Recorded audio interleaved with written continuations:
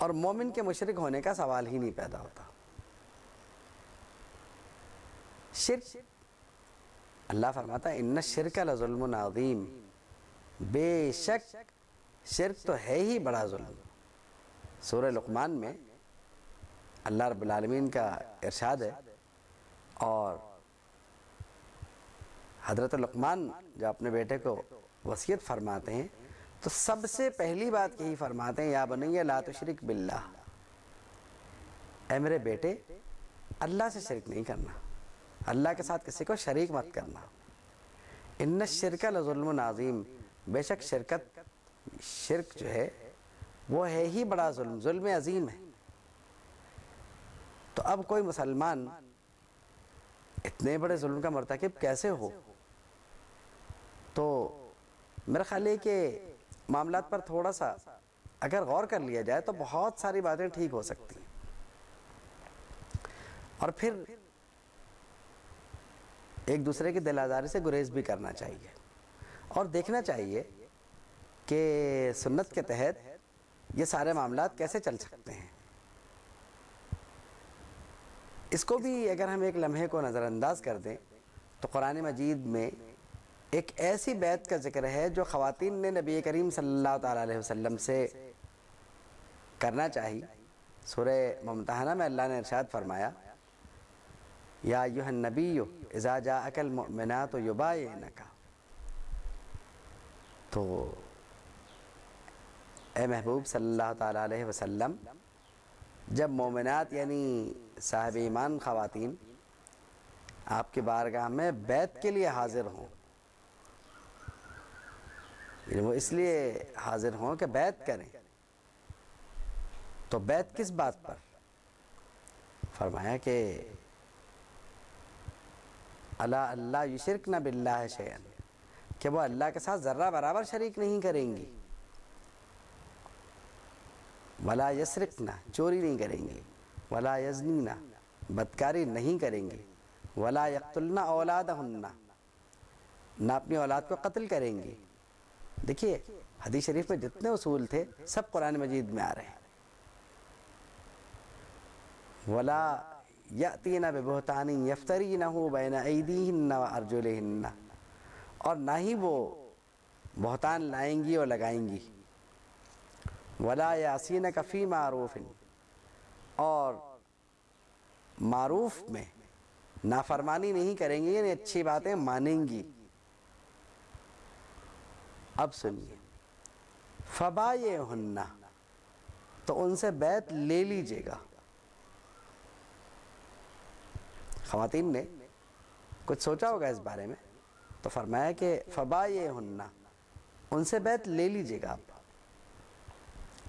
اور یہی نہیں وستغفر لہن لہن اللہ۔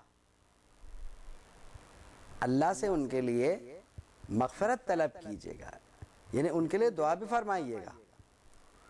جو آپ سے بیعت کر لیں، ان کے لیے دعا بھی فرمائیے گا۔ ان اللہ غفور الرحیم۔ بے شک اللہ مغفرت فرمانے والا اور رحمت فرمانے والا ہے۔ دیکھیے، اللہ تو ہے ہی رحمت فرمانے والا ہے اس میں تو شک نہیں ہے۔ مغفرت فرمانے والا بھی ہے۔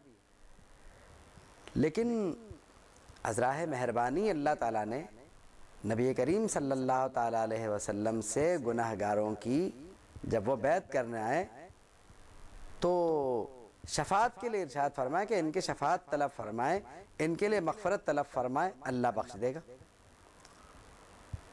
دیکھیے، اللہ غفور بھی ہے، رحیم بھی ہے۔ لیکن یہ تو عام بندوں پر ہے معاملہ۔ لیکن جن کے لیے حضور رحمت اور مغفرت مانگے اللہ رب العالمین سے اور انہیں مل بھی رہی ہے تو ان کو تو دوہری مل گئی نا۔ اور پھر جن کے بارے میں اللہ ارشاد فرمائے کہ ان کے لیے آپ مانگ لیجیے گا۔ تو ان کو تو تین گنا معاملہ ہو گیا ان کا تو۔ یعنی عام لوگوں کے لیے تو دو دو کا معاملہ ہو گیا۔ ان کے لیے تین کا ہو گیا کیونکہ حضور کی بارگاہ میں موجود۔ اور جو موجود ہیں انہی کے لیے آیت کریمہ نازل بھی ہوئی۔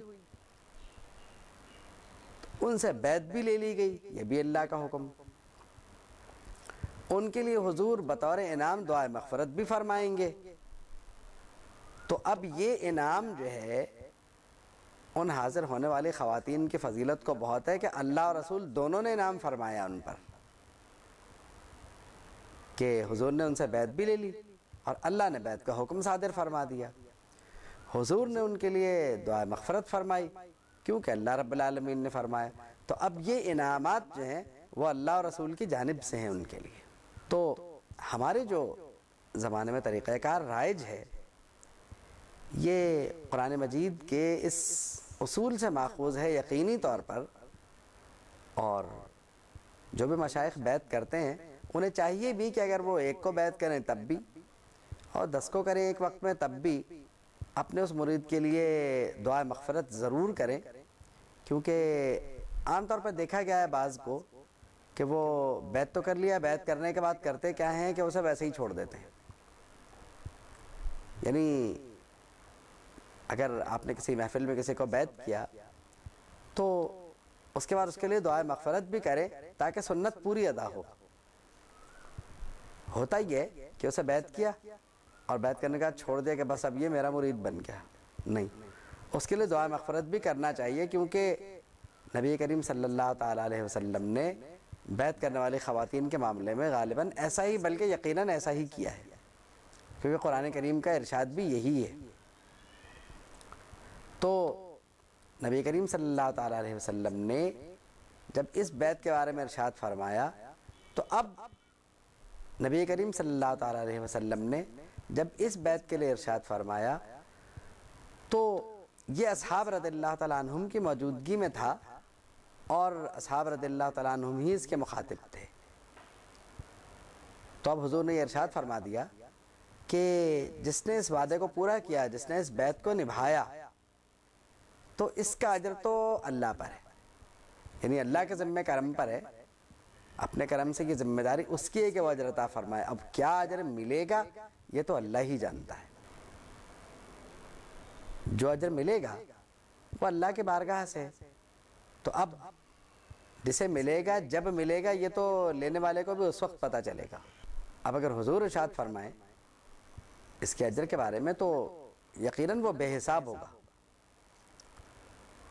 اگر آپ اس کے اصولوں پہ غور کریں تو آپ کو کوئی اصول اس میں سے ایسا نہیں ملے گا جس کو یہ کہا جائے کہ اس میں شرح کی پابندی نہیں ہے۔